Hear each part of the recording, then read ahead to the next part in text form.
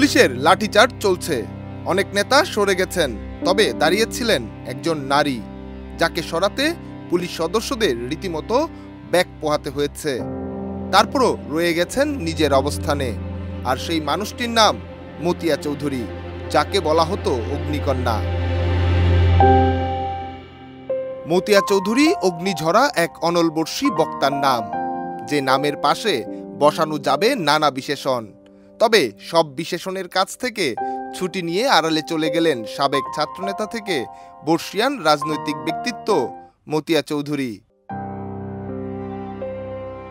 ষাটের দশকে ছাত্র ইউনিয়নের মাধ্যমে ইডেন কলেজ থেকে ছাত্র রাজনীতির হাতে খড়ি।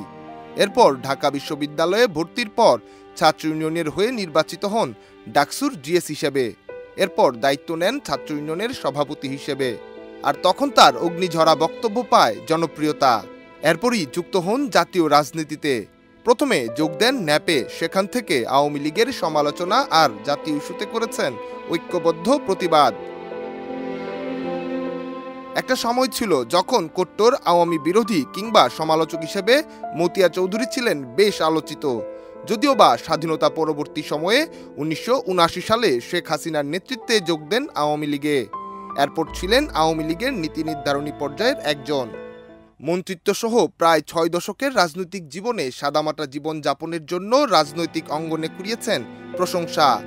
মন্ত্রী থেকে নেতাদের নামে যখন নানা অনিয়ম আর অন্যায় নিয়ে অভিযোগের ফিরিস্তি, তখন সেই তালিকার অনেকটা আড়ালে ছিলেন মতিয়া চৌধুরী। তবে দলের বাইরে থেকে নয়, ভেতরে কেউ কেউ ছিলেন তার বিরোধী, যদিও বা তা সামনে আসেনি বড় করে। পাঁচ আগস্ট সরকার পতনের পর আওয়ামী লীগের নেতাকর্মীরা যখন আত্মগোপনে তখন রাজধানীর এক বেসরকারি হাসপাতাল থেকে পৃথিবীর মায়া ত্যাগ করে মতিয়া চৌধুরী পাড়ি জমিয়েছেন অন্য লোকে। নিহার সরকার অঙ্কুর, দেশ রূপান্তর।